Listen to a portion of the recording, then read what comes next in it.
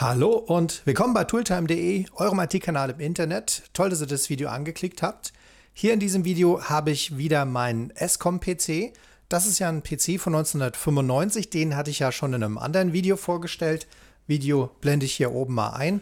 Das ist ein Pentium-PC, da ist ein Monitor dabei gewesen, eine Maus, Tastatur, alles original 1995. Und in einem anderen Video hatte ich ja gezeigt, was der kann, was der so alles hat. Aber den hatte ich nicht aufgeschraubt. Und jetzt schraube ich den Rechner mal auf, guck mal, was da alles innen drin ist und baue da auch eine Soundkarte ein. Der Rechner, der wurde 1995 ja für über 4000 D-Mark verkauft, so wie das hier zu sehen ist. Und da war bei dem Preis noch nicht mal eine Soundkarte dabei, die musste man damals extra kaufen. Ist auch bis heute keine eingebaut worden in den letzten 23 Jahren. Und das hole ich jetzt mal nach. Ich schraube jetzt gleich mal den Rechner auf, guck mal, wie das da innen drin so aussieht, ob der auch okay ist, ob die BIOS-Batterie eventuell ausgelaufen ist, baue eine Soundkarte ein. Ich habe den Rechner zwischenzeitlich auch mal richtig sauber gemacht, von außen aufgeschraubt, wie gesagt, habe ich den noch nicht. Das ganze Gehäuse mal gereinigt hier mit Wasser, Reinigungsmittel, ein bisschen Silikonentferner, damit diese schwarzen Flecke auch weggehen. Den Monitor, den hatte ich auch sauber gemacht. Das gleiche auch hier für die Maus. Und was ich noch nicht sauber gemacht habe, ist die Tastatur. Und da zeige ich mal gerade, wie man so eine Tastatur sehr einfach, sehr gut sauber bekommt. Bei solchen Tastaturen, da sammelt sich immer ziemlich viel Dreck und Schmutz an. Da will man auch nicht immer so genau wissen, was das alles hier genau ist oder gewesen ist mal. Das ist jetzt eine helle Tastatur, aber das gibt es natürlich auch bei Notebooks. Da hat man eine dunkle Tastatur oder so eine gräuliche Tastatur. Da ist es manchmal ganz besonders eklig und da habe ich ja jede Menge Notebooks auseinandergeschraubt und teilweise sind die Tastaturen so eklig, da muss man das vorher mal sauber machen, damit man da überhaupt sich rangetraut hat. Hier an dieser 23 Jahre alten Tastatur habe ich jetzt noch nichts sauber gemacht und so wie das aussieht, hat der Vorgänger da leider auch nichts dran sauber gemacht. Und ich mache das immer so, dass ich so ein paar Küchentücher nehme und lege die hier so drüber. Mal gucken, ob da zwei reichen. Nach zwei reichen da auch. Sieht dann so aus. Und dann nehme ich so einen normalen Fensterreiniger und dann sprüht man das hier drauf. Lieber ein bisschen zu viel als zu wenig, dass das Tuch richtig feucht ist, überall. Und so kann man eigentlich sicher sein, dass da keine Flüssigkeit in die Tastatur reinläuft. Das wird alles hier von dem Tuch so aufgesogen und jetzt sieht man schon die Tasten unten drunter. Jetzt wird das so ein bisschen durchsichtig und dann kann man das hier jetzt ganz prima andrücken, so dass das Tuch hier mit der Flüssigkeit an die Tasten kommt und so lässt man das einfach mal 10 Minuten, 15 Minuten liegen. Jetzt sind ungefähr so 15, 20 Minuten rum und das Ganze hat hier ganz gut eingewirkt. Da kann man zwischendrin immer noch mal so draufdrücken, damit auch dieses feuchte Tuch hier Kontakt bekommt. Und jetzt nehme ich das mal ab. Und da sieht man auch schon, dass in dem Tuch ganz schön viel Siffe drin hängt. Und alles hier oben auf der Tastatur, dieser ganze Schmutz, der ist wunderbar aufgeweicht. Und da kann man jetzt einfach mit dem Tuch drüber gehen und kann den ganz prima abmachen. Da gehen auch diese Flecke weg. Vielleicht irgendwie Kaffeeflecke oder sowas. Und der gesamte Schmutz, der hier jetzt drauf ist, den kann man einfach ganz leicht hier so abziehen. In die Zwischenräume muss man eben nochmal mit einem Tuch gehen und dann kriegt man das auch ganz gut wieder sauber. Ganz klar, so vergilbte Tasten, hier rechts zum Beispiel, diese Tasten, die sind richtig vergilbt, die kriegt man damit auch nicht wieder hell. Vergilben ist ein anderes Problem, das ist ja kein Schmutz, sondern das ist eine Reaktion von dem Plastik. Aber generell funktioniert das sehr gut, vor allem auch bei Notebook-Tastaturen, dann braucht man die Tastatur nicht ausbauen. Und da besteht eigentlich auch keine Gefahr für das Notebook, dass da was innen reinläuft, wenn man hier so ein Tuch drüber legt und das ein bisschen feucht sprüht, ein bisschen einwirken lässt und dann wieder sauber macht. Hier habe ich jetzt meinen Big Tower. Diese Big Tower, die hatten in vielen Fällen, meines Erachtens in allermeisten Fällen, so ein Metallgehäuse, was U-förmig geprägt war, was so gebogen war. Und das ist auch hier so der Fall. Also diese Seite hier geht nahtlos über nach oben und kommt dann hier hinten wieder runter. Festgeschraubt waren die meistens hier hinten mit mehreren Schrauben. Und das ist ein ganz seltenes Gehäuse, was so ein Plastikdeckel hat. Das hat man nicht so oft gehabt. Zumal diese Plastikdeckel natürlich auch im Laufe der Zeit irgendwann mal bei den meisten abgemacht wurden und dann wurden die in die Ecke gestellt und dann sind die irgendwann mal verloren gegangen, wenn man da irgendwas aufgerüstet hat. Das ist hier zum Glück nicht der Fall. Das ist einfach nur aufgesteckt. Das kann man einfach so abziehen und nebenhin stellen. Da sieht man dann hier 1, 2, 3, 4 Schrauben. Komischerweise hier fehlt eine und da fehlt eine. Und na, ich vermute mal, dass die von Escom nicht reingeschraubt wurden vor 23 Jahren.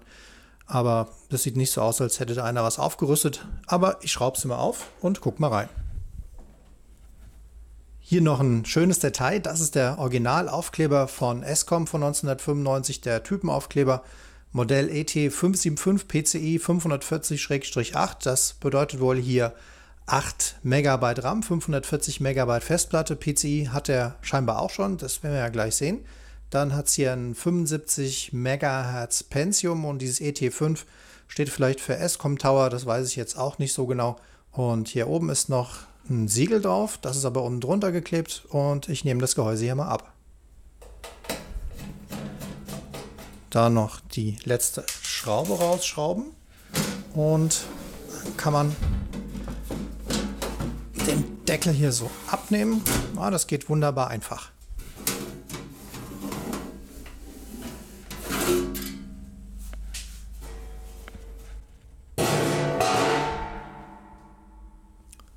So sieht das dann jetzt hier ohne Deckel aus. Hier oben das Siegel, das haben die einfach hier auf das Gehäuse draufgeklebt. Das gehört natürlich normalerweise über den Deckel zur Hälfte und zur Hälfte auf das Gehäuse.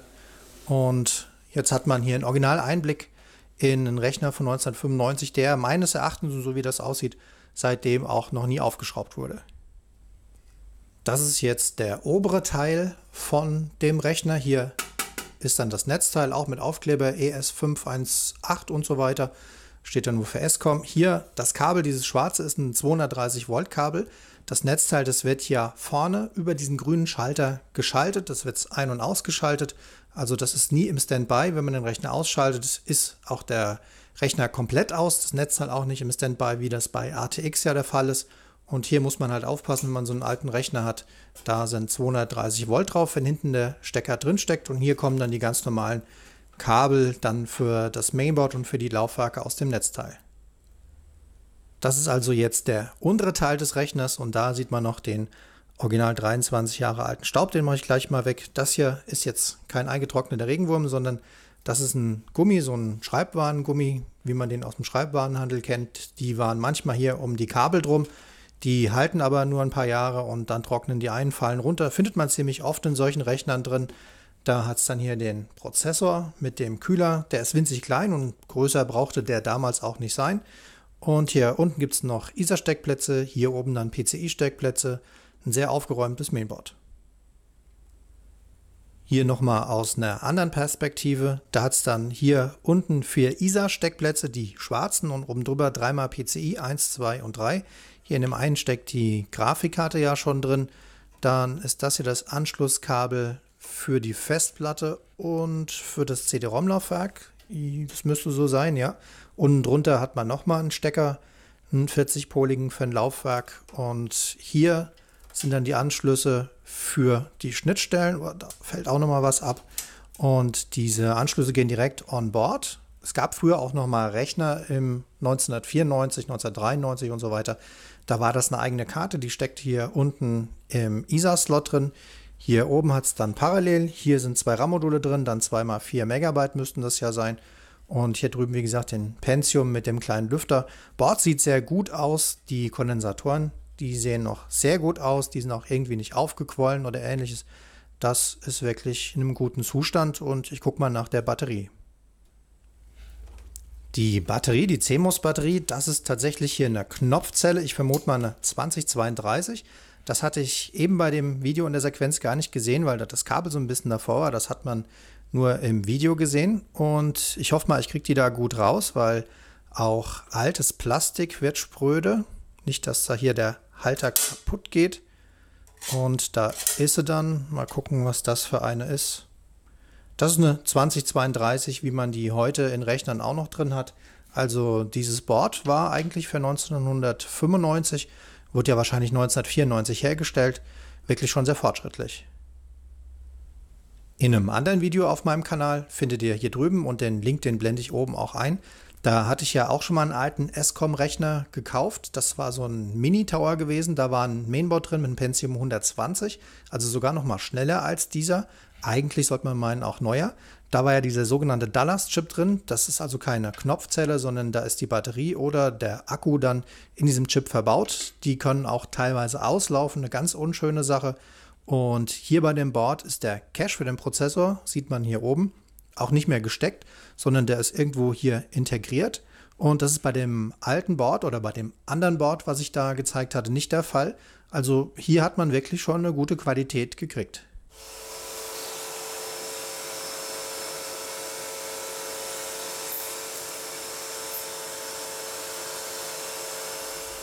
Den Rechner habe ich jetzt mal richtig sauber gemacht mit dem Staubsauger und mit dem Pinsel, dann nochmal mit einem Tuch hier unten durch, damit es ein bisschen sauberer wird. Und hier ist zum Glück nichts verrostet wie bei dem anderen Rechner, den ich in dem Video gezeigt hatte. Da war jede Menge Rost unten drin und jetzt gucke ich mir hier mal den Kühler an, also die CPU. Da schraube ich mal ganz vorsichtig den Ventilator hier raus. Manche dieser Metallkühler, die sind rein geklipst. Da gibt es also einen Metallbügel, kann hier aber keinen entdecken. Kann natürlich auch sein, dass die den damals bei ESCOM, also den Kühler, auf den Prozessor draufgeklebt haben. Und da sieht man schon mal, man sollte auf jeden Fall immer mal den Kühler abschrauben.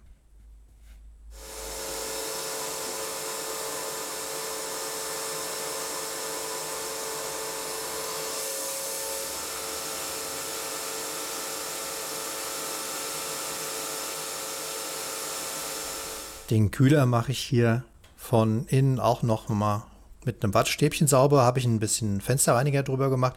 Und da geht ganz schön viel Dreck ab. Das ist ganz schön eklig. Das ist mit Sicherheit feinster Staub und jede Menge Bakterien. Bei dem anderen Gerät, bei dem alten Pentium, hatte ich ja die Wärmeleitpaste auch noch erneuert und da war ja auch ein Aufkleber drunter, den da einer auf den Prozessor geklebt hat. Hier gibt es aber jetzt ein Problem und zwar dieser Kühlkörper hier, dieser goldenfarbene Kühlkörper, der ist wohl auf die CPU drauf geklebt. Da fehlt eben der Bügel. Normalerweise gibt es ja einen Bügel, der geht hier oben hinter den Kühler, geht hier runter und der rastet hier unten ein in diesen zwei kleinen Laschen. Die sieht man hier unten im Video und der fehlt hier. Der wurde hier drauf geklebt, dieser Kühlkörper. Hier links sieht man den Bügel da kann man den Prozessor aus dem Sockel herausnehmen. Wenn man hier aber jetzt mal genauer schaut, dann sieht man, dass dieser Kühlkörper über dem Bügel ist. Also man kann den Bügel nicht aufmachen und die CPU rausnehmen. Man muss erst den Kühlkörper abmachen. Der ist da wohl mit so einer Art Dauerklebemasse befestigt. Also so wie es scheint, haben die hier den Prozessor reingesetzt, den Bügel runtergedrückt und dann hier eine Masse aufgeklebt und haben den Kühler hier draufgeklebt. Man kann den Kühler ein kleines bisschen bewegen, also die Masse scheint noch elastisch zu sein und das lasse ich auch mal so, wie es hier ist, weil die Kühlerpaste, die ich habe, die kann nicht kleben, also die würde dann wieder abfallen, die braucht so einen Bügel, das ist ja auch der Normalfall. Das hat man eigentlich eher relativ selten und das lasse ich so, wie es ist und mache den Kühler wieder drauf. Der Kühler also der Ventilator hier, der ist jetzt wieder draufgeschraubt. Mal gucken, das hält auch alles. Und so soll das bleiben. Wenn es die letzte Zeit, die letzten 23 Jahre gehalten hat, dann wird es wahrscheinlich auch nochmal 23 Jahre halten. Und hier drüben sieht man ein schönes Detail. Das sind die Kabel, die gehen vom Mainboard hoch an die Bedienknöpfe. Und da gibt es hier einen Stecker, der heißt Turbo Switch. Und dieses Gehäuse hat ja oben so einen Schalter gehabt, Turbo Switch. Und dieser Stecker hier, der ist auch gar nicht angeschlossen. Das hatte ich in dem anderen Video ja schon mal gezeigt und erwähnt. Und hier kann man auch nichts umschalten. Also bei alten Prozessoren, bei 386ern zum Beispiel, konnte man teilweise die Geschwindigkeit noch über so einen Schalter nochmal nachschalten. Da gab es entweder was Langsames und was Schnelles, aber hat ja keiner benutzt. Jeder wollte ja einen schnellen Rechner haben. Und es war auch immer dann auf höchster Stufe. Jetzt noch eine neue Knopfzelle rein. Da habe ich das Ja drauf geschrieben. Wenn man da in den Rechner nochmal in zwei Jahren reinguckt, dann weiß man, wann die gewechselt wurde. Und muss mal ganz vorsichtig hier reinsetzen.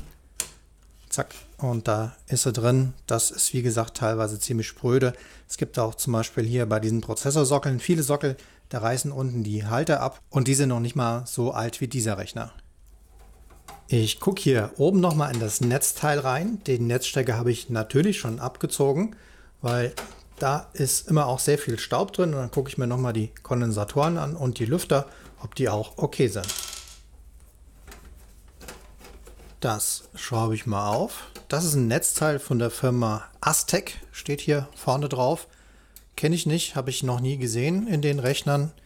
Das andere Netzteil aus dem Phobos-Rechner, das war ja eins von der Firma DTK.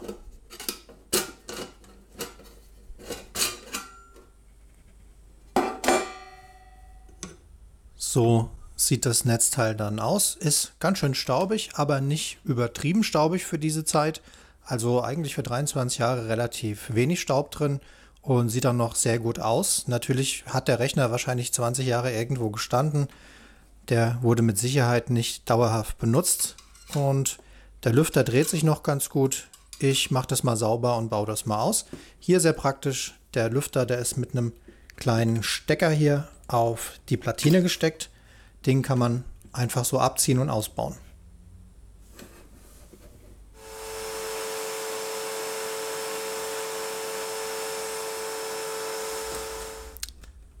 Den Lüfter schraube ich mal hier raus und so sieht er von vorne aus. Da fällt schon der Staub raus, hält sich auch in Grenzen, aber ich glaube, den tausche ich auch aus, obwohl er sich recht gut dreht. Na, ich tausche ihn aus. Das ist jetzt mein neuer Ventilator. Der ist hier innen leider rot-schwarz, hatte ich jetzt keinen mehr gehabt. Ist genau der gleiche wie bei dem anderen Escom-Rechner. Da habe ich jetzt einfach den Stecker hier von dem anderen abgemacht und habe den hier dran gelötet und dann kann ich den hier einbauen. Muss man nur schauen, da ist meist dann die Luftrichtung angegeben. Hier sind zwei kleine Pfeile drauf. Einmal der Ventilator dreht sich so rum und die Luft wird dann hier rausgeblasen. Darf man nicht verkehrt rum einbauen.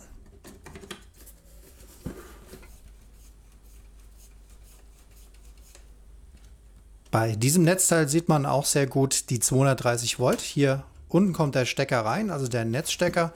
Dann werden die 230 Volt hier oben an diese Buchse weitergegeben und hier dieses schwarze Kabel, das geht vor zum Schalter und da sind volle 230 Volt drauf. Hier ist auch nochmal eine Feinsicherung eingebaut. Das hat man bei den neueren Netzteilen eigentlich nicht mehr. Also da hätte ich schon seit 10, 20 Jahren keine mehr gesehen. Das war früher bei diesen alten AT-Netzteilen da hat man hier öfters eine Feinsicherung drin gehabt. Deckel wieder drauf. Bevor ich jetzt die Soundkarte einbaue, mache ich nochmal einen Funktionstest. Das hört sich schon mal sehr gut an. Der Lüfter hier unten dreht sich. Luft wird auch rausgeblasen. Und hier kommt mit Sicherheit eine Fehlermeldung wegen dem Datum oder der Batterie.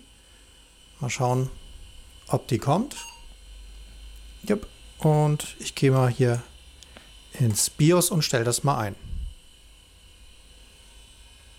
Datum habe ich jetzt eingestellt, 2018 und da gehe ich mal hier raus und ja, Datum speichern. Da hört man auch die Platte, die hat nochmal sich resettet, da hat es nochmal dieses initiale Klack gemacht. Mal gucken, ob jetzt immer noch eine Fehlermeldung kommt. Sollte er natürlich eigentlich nicht. Ist eine neue Batterie drin. Nö, das funktioniert. Prima. Klasse. Das Datum hat er akzeptiert. Auch schön, dass er das Datum, also die Jahreszahl 2018 akzeptiert hat. Man weiß nie, was so Programmierer da frühe 90er da so programmiert haben. Die dachten vielleicht, dass so ein Gerät ziemlich schnell auf dem Schrott landet, dass es nie so alt wird. Ich habe den Rechner ausgemacht und wieder runtergestellt und als nächstes kommt hier eine Soundkarte rein. Die nehme ich hier aus der Kiste raus. Diese Kiste hat mir ein Zuschauer zugeschickt. Vielen Dank. Toni aus dem Mühlenweg und ich gucke mal rein, was hier drin ist. Da sind jede Menge alte Computersachen drin. Hier habe ich ein Mainboard und da sind auch noch jede Menge alte Festplatten drin. Und hier ist auch noch ein Mainboard drin auch noch ein Mainboard. Und hier sind verschiedene Karten. Hier sind dann verschiedene Netzwerkkarten und Grafikkarten und auch hier sind zwei Soundkarten dabei. Das ist eine Vibra 16, die hat hinten die entsprechenden Ausgänge, hat auch noch einen Gamepod dabei. Das ist eine ISA-Karte und die Sachen waren natürlich viel besser verpackt. Die wurden jetzt nicht so verschickt. Keine Angst, das habe ich nur alles schon mal ausgepackt und habe das mal so reingelegt, damit ich es schön griffbereit habe. Ich habe meine Soundblaster mal ein bisschen sauber gemacht und da hat es hier auch die Anschlüsse dran für das Laufwerk, für das optische, dass man Musik-CDs, also Audio-CDs, hier abspielen kann und kann dann die Daten hier übertragen und hier direkt abhören. Da gibt es dann hier verschiedene Kabel und da gucke ich mal, welches Kabel da passt. Das ist jetzt dieses Kabel, das hat auf beiden Seiten den gleichen Stecker, diesen schwarzen vierpoligen Stecker und der kommt hier bei der Vibra hier auf diesen Anschluss drauf. In der Mitte ist Ground und der ist doppelt belegt, deswegen fehlt hier einer, das ist ganz normal. Hier gibt es nochmal einen alten Mitsumi-Anschluss und am besten hat man das früher immer schon mal hier so drauf gesteckt.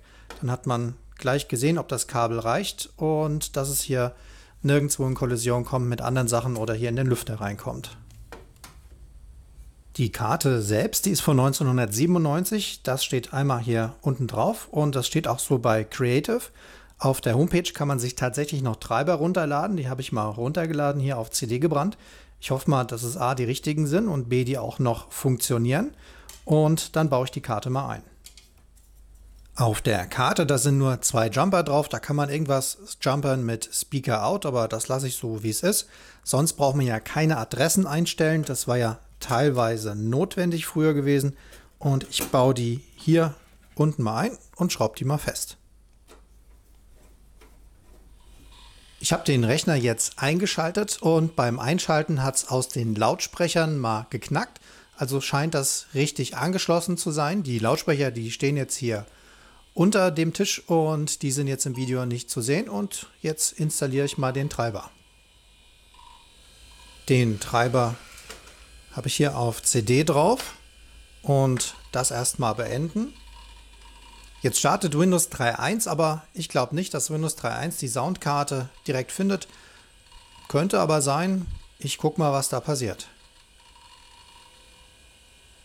Aber da hat es keine Soundkarte gefunden, keine erkannt und natürlich auch kein Treiber installiert.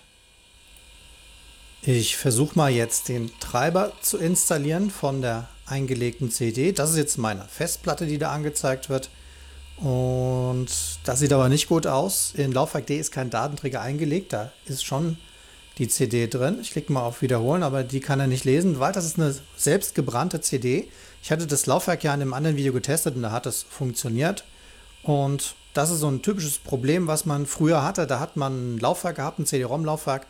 Und die waren nicht alle kompatibel zu gebrannten CDs. Manchmal wurden die nicht erkannt, je nachdem, mit welchem Programm man da drauf geschrieben hat. Und hier funktioniert das nicht. Muss ich wohl auf Diskette kopieren. Ich habe jetzt auf einem anderen Rechner den Inhalt von der CD, das waren zwei Disketten, die habe ich mir bei Soundblaster im Internet runtergeladen auf zwei echte Disketten drauf kopiert und habe die Diskette jetzt hier eingelegt in dieses 23 Jahre alte, wahrscheinlich 20 Jahre nie benutzte Laufwerk. Und das funktioniert tatsächlich. Also es liest die Disketten einwandfrei und kopiert jetzt also den Treiber auf die Festplatte drauf. Das ist immer ein bisschen sicherer und das geht dann auch nachher meistens bei der Installation ein bisschen schneller. Unter DOS hat man meistens keine Treiber gebraucht für eine Soundkarte. DOS-Spiele haben die Karte direkt erkannt. Die war dann immer auf einer bestimmten Adresse und auf einem gewissen IGRQ. Und ich installiere mal die Software, die dabei ist. Mal gucken, ob das DOS oder Windows-Software ist. Eine Windows-Software konnte man natürlich damals auch nicht unter DOS installieren und umgekehrt auch nicht, beziehungsweise dann ist Windows in den DOS-Modus gegangen. Hier wird irgendwas von zusätzlicher Software gesprochen. Ja gut, dann mache ich das mal. Und ah, da wird direkt die Adresse abgefragt von der Karte, beziehungsweise das Programm hier. Das Programm von Creative hat die 220 als Adresse gefunden. Ne. Hat die Karte nicht gefunden. Probiere ich mal eine andere Adresse aus. Das sieht gar nicht gut aus. Hoffentlich funktioniert die Karte. Hoffentlich ist die nicht kaputt. Ich habe jetzt aus dieser Kiste, die mir der Zuschauer zugeschickt hat, noch eine zweite Soundkarte rausgenommen und habe die eingebaut. Das war auch eine baugleiche Vibra 16. Das ist die Karte, die ich jetzt am Anfang hier drin hatte. Die habe ich wieder ausgebaut. Die wurde auch sehr warm, ist mir aufgefallen, um diesen Chip herum. Hier, das kann natürlich normal sein, kann natürlich auch ein Defekt hindeuten. Jetzt die andere drin und ich habe das Programm wieder gestartet und siehe da, da hat er direkt die Soundblaster gefunden. Diese Software von Creative für die Soundkarte, die installiert auch gleich die Windows 3.1 Treiber, macht es aber nicht direkt, sondern das kopiert die Treiber in das Windows-Verzeichnis und jetzt macht es das. Das war natürlich früher auch immer eine ganz üble Sache. Da wusste man danach meistens nicht mehr so 100%, ob das Windows auch wieder richtig startet, was danach passiert, ob es irgendeine geänderte Hardware findet oder direkt abstürzt. Hier möchte das Programm auch noch gleich die Config-Sys prüfen und jeder, der weiß, was eine Config-Sys früher war, der weiß auch, dass das auch so eine kritische Sache ist. Die Config-Sys und die Auto-Exec-Bat, da sind ja Programme drin, die mitgeladen werden beim Systemstart. Da wurden dann, wenn das falsch gemacht wurde, irgendwelche Hardware-Komponenten nicht mehr gefunden. Und das war immer so eine ganz heikle Sache hier. Hier sieht man die Dateien config.sys und autoexec.bat und drunter diese autoexec.bat. Das sind alles Befehle, die beim Einschalten, also nach dem Einschalten des Rechners abgearbeitet werden. Und wenn da irgendein falsches Programm drin war, nicht kompatibel und dann hat der Rechner sich entweder aufgehangen, gab eine Fehlermeldung, hat nicht richtig gebootet und dann musste man über eine Bootdiskette das Gerät neu hochfahren und musste das hier wieder korrigieren. Da braucht man natürlich ziemlich viel Ahnung für und man hat sich immer regelmäßig Backups gemacht von dieser Datei auto execbat oder config.sys, weil die ja gern von irgendwelchen Programmen manipuliert wurde. Hier habe ich die auto execbat im Editor geöffnet und schalte mal dieses SCOM-Programm aus. Da schreibe ich einfach ein REM davor und speichere das wieder ab. Und jetzt kann ich den Rechner neu starten. Einfach mit Steuerung Alt entfernen auf der Tastatur und dann bootet der Rechner neu Diesmal ohne dieses SCOM-Menü. Und mal gucken, ob Creative da irgendeine Software mit reingeschrieben hat. Ich hatte zumindest keine gesehen. Jetzt startet er natürlich zuerst mal MS-DOS, testet den Speicher, den erweiterten, lädt den Treiber für das CD-ROM-Laufwerk. Das hat auch mal eine ganze Weile gedauert. Und ja, hat er gemacht. Fertig. Und ich starte mal Windows 3.1. Beim Hofan hat Windows 3.1 jetzt natürlich keine Soundkarte gefunden. So richtig Plug and Play war das auch nicht. Manchmal war das der Fall. Bei bestimmten Druckern kann ich mich erinnern.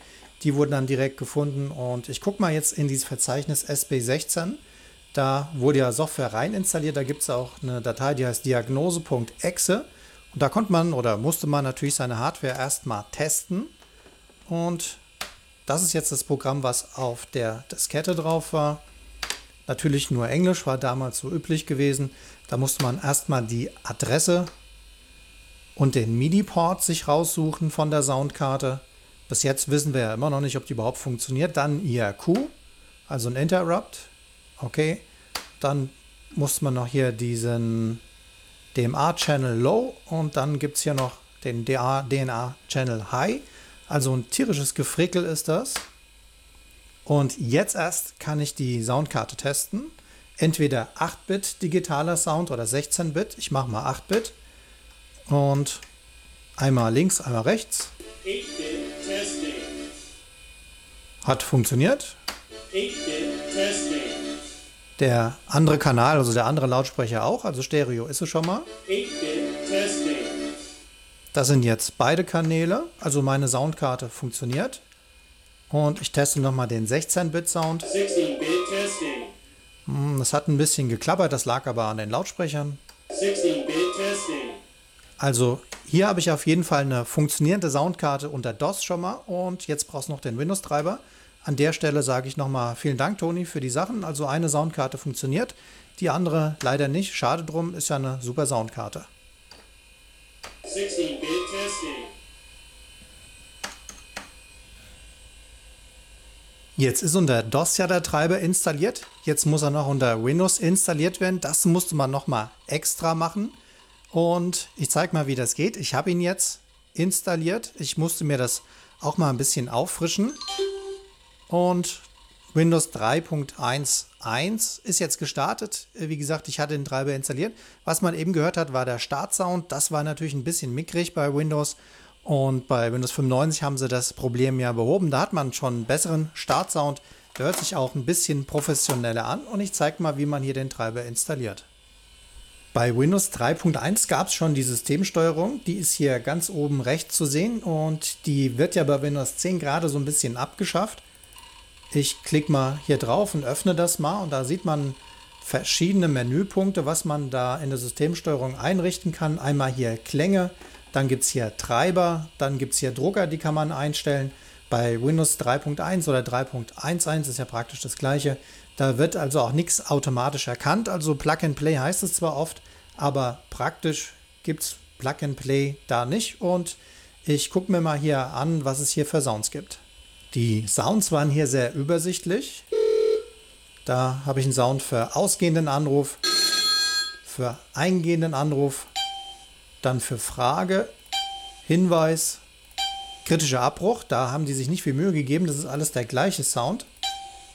Und man konnte aber da natürlich auch Soundpakete von anderen Anbietern dazu kaufen, zum Beispiel von Data Becker. Die haben da Disketten angeboten, da waren verschiedene Soundschema drauf und die konnte man dazu installieren. Da war das nicht mehr ganz so monoton. Und den Treiber installiert man hier bei Windows 3.1 unter dem Punkt Treiber und das muss man in allermeisten Fällen auch per Hand machen. Also man klickt hier auf Hinzufügen. Das hatte ich eben getan. Das hat eine ganze Weile gedauert und muss entweder sich dann hier die Karte auswählen. In meinem Fall ist es hier eine Creative Labs Sound Blaster 1.5. Oder wenn man eine Diskette hat, dann muss man hier oben drauf gehen. Ich zeige mal, wie man den Sound Blaster Treiber bei Windows 1 hier installiert hat. Der funktioniert auch mit den meisten Sound Blaster Karten. Klickt man hier auf die Karte 1.5 und dann sage ich hier, da hat es schon einen gefunden, sage ich neuer Treiber und dann beginnt auch schon die Katastrophe bei Windows 3.1. Dann fragt es hier, ja, wo ist der Treiber? Der Treiber ist natürlich genau da, wo auch Windows 3.1 installiert ist oder wo diese Quelldisketten liegen. Also es will diesen originalen Datenträger haben. Das war natürlich von Rechner zu Rechner verschieden. Hat man Windows 3 eventuell von der CD installiert oder bei Windows 95 war das ja noch genauso, dann musste man die CD wieder einlegen. Deswegen hat man es vorher besser auf Platte kopiert und das wusste auch hier ESCOM. Ich klicke mal auf Durchsuchen und diese ganzen Treiber, die lagen irgendwo auf der Platte und hier bei diesem SCOM-Rechner ist das in dem Ordner Org-Files. Da sieht man SCOM-Sys, ob 1, ob 0, was das bedeutet, weiß ich auch nicht. Das weiß wahrscheinlich nur jemand, der damals bei SCOM gearbeitet hat. Also wenn hier das Video einer sieht, kann er das gerne mal in die Kommentare schreiben. Das würde mich mal interessieren, warum das so heißt, weil der Benutzer, der Vorbesitzer hier, von dem ich das abgekauft habe, der hat das bestimmt nicht gemacht. Da muss man hier in Disk 5 gehen, Windows 10, nein, pardon, Windows 3 bestand ungefähr so aus 10 Disketten hier und da muss man auch noch die richtige Diskette wissen. Jetzt lädt er einen Treiber aus diesem Verzeichnis raus und fragt wiederholt nach dem Ordner. Und das ist so ein typisches Windows-Problem, gab es auch bei Windows 95 und Windows 98. Man hat irgendeinen Treiber installiert, hat gesagt, der Treiber ist hier und da, ganz egal ob Diskette oder Festplatte oder ob das von, der, von einem CD-ROM war. Und es hat aber immer öfter mal nach der Quelle gefragt und scheint irgendwie die Quelle wieder vergessen zu haben. Und da muss man mehrmals immer draufklicken. Jetzt muss ich auch noch hier sagen, was das für ein Anschluss ist. 220.5. Das hat mir das Programm ja vorher gesagt, dieses Diagnoseprogramm. Jetzt gibt es hier noch eine Warnung, dass es bessere Treiber gibt. Und jetzt will es wieder wissen, wo die Treiber liegen und das ist wieder in diesem Ordner Org-Files, Ob1, Disk 5 und so setzt sich das dann fort und das muss man so lange machen, bis es endlich alle Treiber kopiert hat. Windows 3.1 hat jetzt alle Treiber kopiert. Jetzt will es natürlich wie immer einen Neustart. Diese Neustart-Geschichte, die hat man ja ziemlich lang gehabt, bis zu Windows 2000 XP, denke ich mal auch noch. Man vergisst so vieles wieder und bei Windows 10 geht es ja halbwegs. Das will nicht dauernd neu starten. bestenfalls mal nach dem Update. Und jetzt haben wir auch eine Soundkarte unter Windows 3.1. Viele, die damals einen Rechner hatten, Anfang, Mitte der 90er mit DOS und Windows 3.1 drauf, die hatten gar keinen Treiber installiert unter Windows 3.1 oder man brauchte das ja auch nicht. Da gab es auch keine Fehlermeldung, wenn man eine Soundkarte hatte und keinen Treiber installiert hatte, weil viele Software hat einfach keine Soundkarte benutzt. Die Sounds sind jetzt auch nicht so überwältigend gewesen. Internet gab es auch keins, Videos, das gab es sowieso nicht. Und die meiste Software, Excel, Word, das war eine reine Office-Software, die hat auch keine Klänge produziert. Also eine Soundkarte war damals was für Gamer gewesen und viele DOS-Spieler haben die Karte auch ohne diesen Treiber-Schnickschnack hier erkannt und die hatten quasi ihre eigenen Treiber dabei und hatten auch natürlich dann ohne diesen Treiber funktioniert. Hatte ich in einem anderen Video mit einem anderen SCOM-Rechner ja schon mal gezeigt und zeige ich dann in einem anderen Video mit diesem Rechner dann auch. Ich hoffe, euch hat das Video gefallen. Wenn ja, gebt ihm einfach einen Daumen hoch. Vergesst nicht, den Kanal zu abonnieren. Dieses Video zu machen hat tierisch lange gedauert. Genauso war das damals auch mit der Installation von Hardware gewesen, von Soundkarten oder wenn man halt seinen Rechner aufgeschraubt hat und hat irgendwas umgebaut, hat RAM aufgerüstet. Das war nicht so einfach, wie das heute war. Heute einfach alles Plug and Play. Wenn man da irgendein Gerät hat, ein USB-Gerät, steckt man das dran. Gerade bei Windows 10 lädt sich die Treiber aus dem Netz runter. Meistens braucht man da keine Treiber mehr direkt zu installieren von irgendeiner CD oder geschweige denn von Diskette. Und meistens klappt es ja dann auch, natürlich nicht immer. Aber damals war das ein echtes Gefrickel und ich habe hier mehrere Stunden gebraucht, um die Soundkarte einzubauen, um Kabel zu finden. Gut, da muss man natürlich noch sehen, das war ja noch eine Menge Zeit jetzt hier für hier den Lüfter und auch hier oben das zu wechseln. Aber damals war das Installieren von Hardware echt mühsam, hat keinen Spaß gemacht im Gegensatz zu heute. Also heute sind die Probleme wesentlich geringer als damals bei solchen Rechnern. Wenn ihr noch Fragen habt, dann schreibt ihr einfach unten in die YouTube-Kommentare, da antworte ich gerne drauf. Wenn ihr noch weitere Informationen habt, irgendwelche Links zu SCOM, zu irgendwelchen Soundkartentreibern, schreibt die einfach auch unten rein. Das lese ich mir immer gerne durch und ist mit Sicherheit interessant für andere.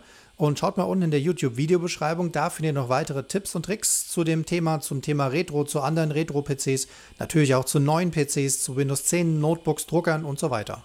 Besucht auch hier drüben mal die Seite tooltime.de. Da findet ihr noch hunderte andere Videos und Beiträge zum Thema Notebooks, Handys, Monitore. Da findet ihr Bilder, Tipps und Tricks, Links, Beschreibungen. Schaut euch einfach da mal um. Da sind mit Sicherheit auch noch jede Menge Sachen für euch dabei. Hier blende ich noch ein paar andere Videos ein auf dem YouTube-Kanal. Da seht ihr dann, wie man Notebooks auseinanderbaut, repariert, wie man Windows 10 installiert, Festplatten klont auf SSDs oder Windows 10 Probleme behebt. Da seht ihr, wie man andere Drucker auseinanderbaut, Druckköpfe reinigt und instand setzt von Canon, Brother und so weiter. Schaut euch einfach mal um auf dem YouTube-Kanal, da sind auch noch jede Menge Videos für euch.